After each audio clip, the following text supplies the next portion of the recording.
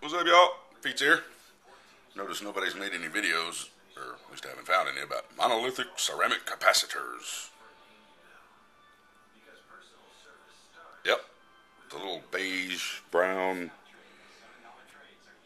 white, sometimes light blue.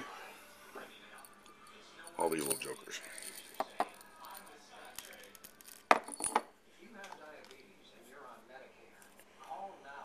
The ends of them are plated in silver.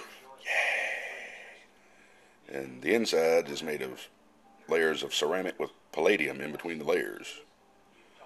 And it can be up to 40 layers thick. I don't know how they get that many in these little things here, but they can. Science is a wonderful thing. Technology is crazy. But there's a lot of platinum or palladium and a lot of silver in these little jokers. You need about two pounds to make it worth your while if you're going to start trying to get the stuff back out of them. But to give you an idea of how fast it adds up, this is 40 grams. And they're quite heavy.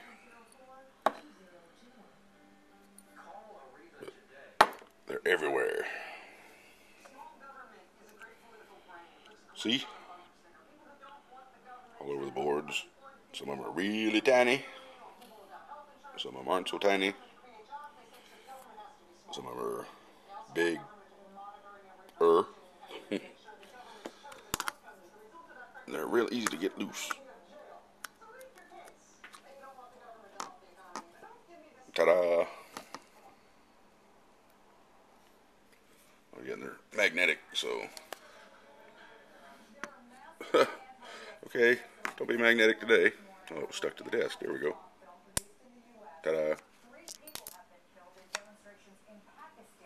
But monolithic ceramic capacitors are your friend. Palladium and silver. See ya.